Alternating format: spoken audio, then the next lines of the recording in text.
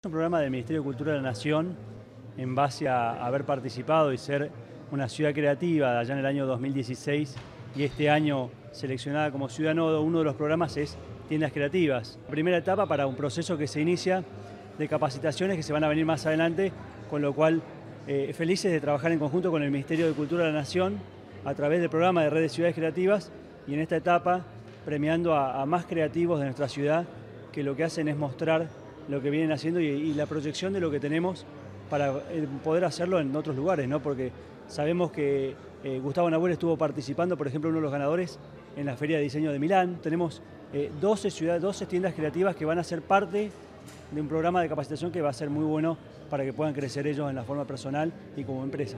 Primero con un periodo de selección, se inscribieron todos los creativos de la ciudad de Neuquén. Eh, con un jurado seleccionamos a través de criterios que nos envió Nación. Eh, fuimos dos jurados municipales, que fuimos Andrés y yo, y después eh, la directora de Industrias Creativas, Mora llama.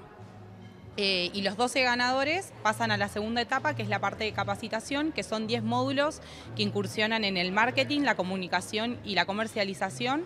Y una vez que finalicen, los creativos que finalicen esas capacitaciones pasan con el sello de tienda creativa, que los hace ingresar a un circuito de red de eh, comerciantes creativos y diseñadores creativos dentro del país. Mi nombre es Rocío Silca, ella es Sofía Alonso. Juntas hacemos Mola, muebles de diseño. Eh, nos dedicamos a todo lo que es el asesoramiento eh, de un espacio interior, eh, tanto como exterior, muebles de diseño, reformas, etcétera.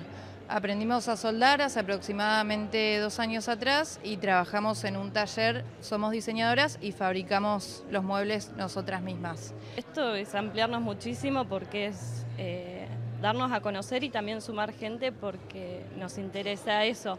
Eh, Rocío es arquitecta y yo soy diseñadora, así que Mola es, mucho más que el mueble. Eh, entonces la idea es esa, poder sumar gente creativa también a nuestro proyecto.